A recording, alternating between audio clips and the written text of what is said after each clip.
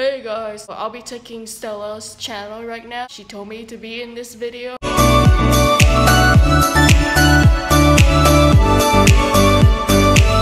I'm gonna be talking about my sister's point of view, a boy accusing her as a boy, which let me tell you, we are both twins, and like I'm like five seconds older than her. I'm gonna keep the story PG. It all started when my sister's like looking through her Instagram thing, and then some random guy suddenly texts her about a boy band called SHINee. Okay, that is so weird and strange.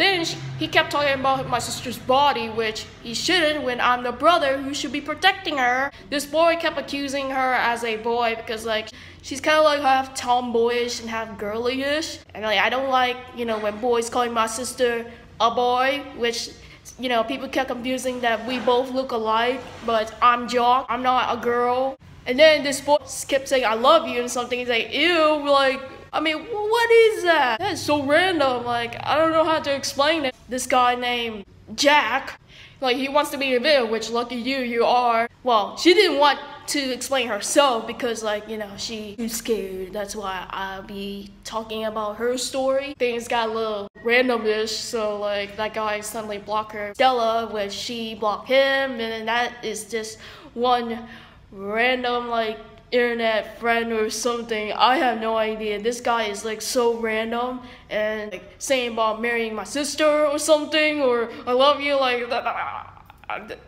this no no I would punch or slap the guy in the face like I'm a big brother I should be you know, scowling that that doofus please be safe on the internet and social media too because you don't want any like pedophiles or perverts or porns like you know that is like so random and scary. But anyway, just be safe. Sorry, there's a bug right there. But anyway, thank you guys for watching, and I'll see you guys in the next video.